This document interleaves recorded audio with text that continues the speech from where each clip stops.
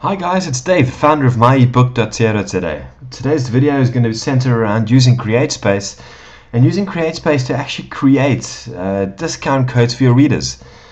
Uh, this is going to be really handy for authors who might be speaking at events or appearing on television or radio and feel it's a great chance to give um, loyal readers um, and new readers a chance to buy their paperback book from CreateSpace at a discounted price. Now, these discount uh, coupon codes will only work through the CreateSpace store. They won't work through CreateSpace's distribution partners, even Amazon. Um, so you would have to direct people to the CreateSpace e-store, not the Amazon store.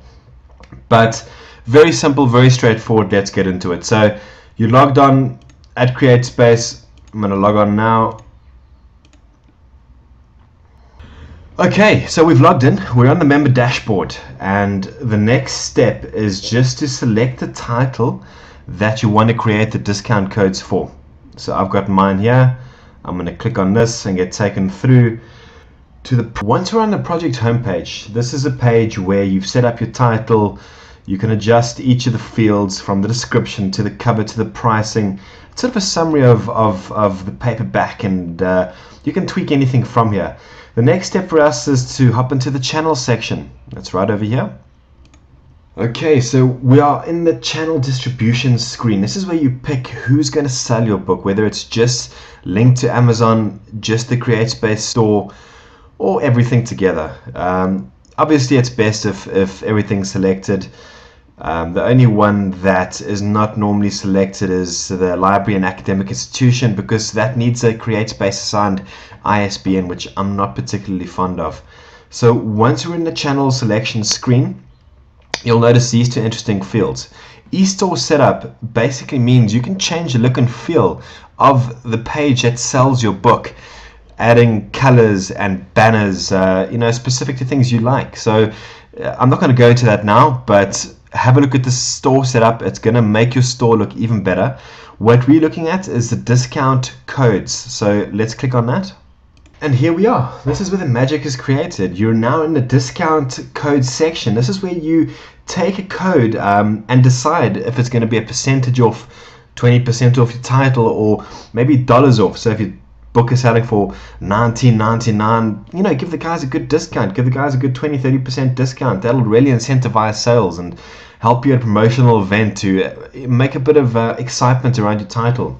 So if we scroll down now it's asking you to enter the code um, this doesn't mean you make up the code this means that we have to actually create codes through a separate section right over here where it says click here this is where we have to create the code that we're going to be inserting over there so let's now it's just created the code and added it to a bunch of my already existing codes uh, you can create as many of these as you want depending on exactly how you want to structure your discounts and your and your giveaways.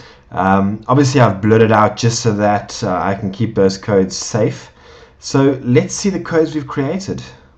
Okay, so this is the summary screen of all the codes we've created. Now, you can create many codes. Obviously, the reason you do this is one code would give you 5% off, the next code would give you 20% off, depending if it's a, a new reader you're trying to attract or maybe rewarding your email subscription list um, that you built up.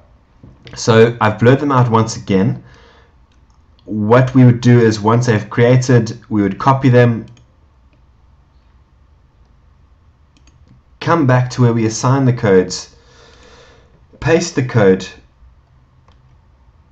decide what we're going to do, whether it's a dollar or a percent off.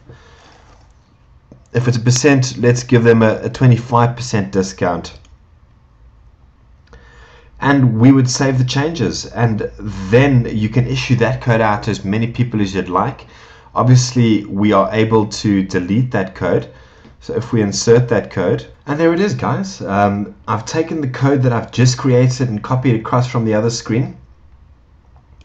I've inserted it here. I've decided it's going to give my favorite readers a 25% discount off my title.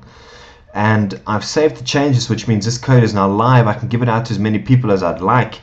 And um, as you can see you have full control over that. You can delete it from here. So this gives you full control to create and issue codes As I mentioned, it's only valid through the CreateSpace e-store, so make sure you have that link handy.